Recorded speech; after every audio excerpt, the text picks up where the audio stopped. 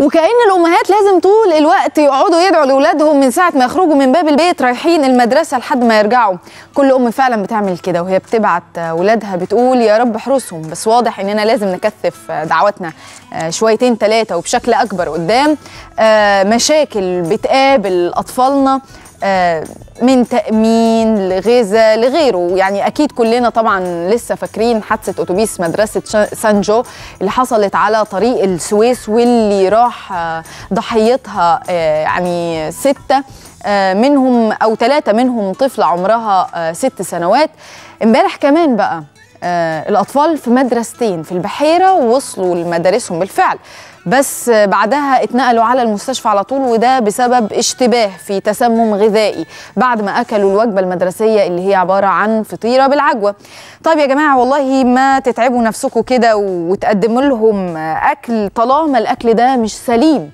آه خلينا إحنا وربنا يكون أولى بيهم.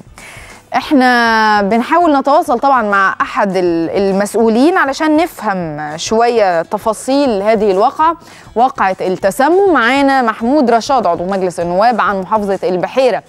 آه مساء الخير يا أستاذ محمود. السلام عليكم. ازيك يا فندم؟ وعليكم السلام ورحمة الله وبركاته. إحنا محتاجين نعرف مين المسؤول عن اللي حصل للأولاد في البحيرة تحديدا موضوع التسمم. ممكن نقول المسؤولية هنا بتقع على مين؟ طيب آه آه في في البداية بنشكر أسرة البرنامج على يعني هذه المداخلة. آه طبعا المدرسة مدرسة الزيبق تبع قرية كوم القناطر مركز أبو حمص هي مدرسة واحدة. العدد 108 تلميذ اللي راحوا المستشفى. كل الحالات اللي راحت المستشفى مش حالات تسمم. وحتى التشخيص المبدئي للدكاترة ما كانش تسمم يعني بدرجة التسمم. ونقدر نقول إن في شيء جزء كان موجود في بعض الوجبات اللي بتتوزع على الطلبة والتلاميذ في المدرسة الابتدائية. إحنا أول ما طبعا عرفنا من الأهالي إحنا كنواب دايرة تواصلنا مع المسؤولين وبسرعه كنا في المستشفى مستشفى أبو حمص المركزي.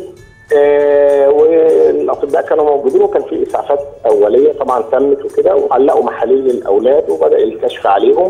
آه في بعض التقصير طبعا آه من أكثر من جهة كانت موجودة. طبعا تواصلنا مع كل الجهات الموجودة بسرعة المستلزمات والحاجات اللي كانت يعني ناقصة حاولوا يوفروها. في تحقيقات طبعا النيابه تمت في الموضوع. إحنا النهارده زرنا المدرسة وسألنا مدير المدرسة و كان معانا يعني ناس من الممثلين من الإدارة التعليمية كده. هي طبعا بتروح لهم بصفة يومية. يعني سألنا إن الوجبة دي عبارة عن معمولة. بتروح لهم مغلفة بتروح لهم بصفة يومية إنتاج يومي يوم بيوم يعني ما بتخزنش عندهم في المدرسة. آه فده يعني بتنتج فين؟ بتنتج فين يا أستاذ محمود؟ نعم. بتنتج فين؟ بتنتج هو قالوا إن الوزارة متعاقدة مع مصنع له فروع في المحافظات. أظن إن ده له فرع عندنا في المحافظة في دمنهور. تمام. برضه المعلومة اللي أنا وصلت وصلت لها عن طريق مدير المدرسة. آه هل اتفتح تحقيق مع المصنع ولا لا؟ آه طبعا النيابة امبارح حققت آه معاهم بعتت لهم وكانت في تحقيق مع مدير المدرسة.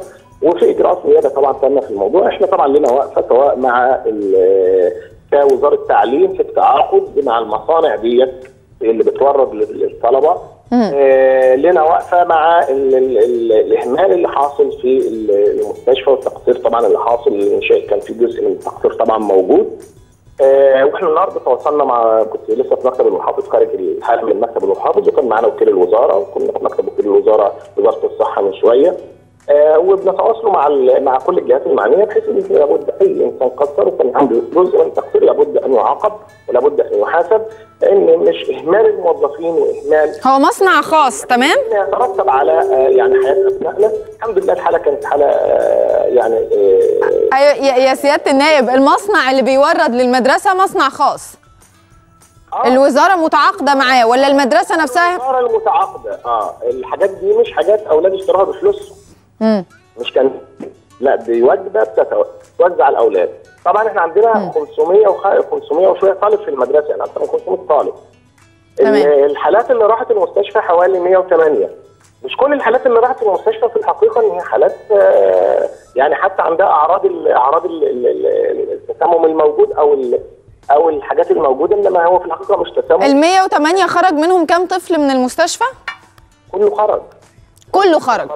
آه كل وكانت حالات كلها حالات بسيطة جدا. مم. آه طب أنت كعضو في مجلس النواب يعني هتتأكد؟ من الأهالي والأمهات وأولياء الأمور آه نظرا طبعا خايفين على أولادهم. طبعا الأولاد في المدرسة الأهالي سمعوا في البيوت ده في تسمم.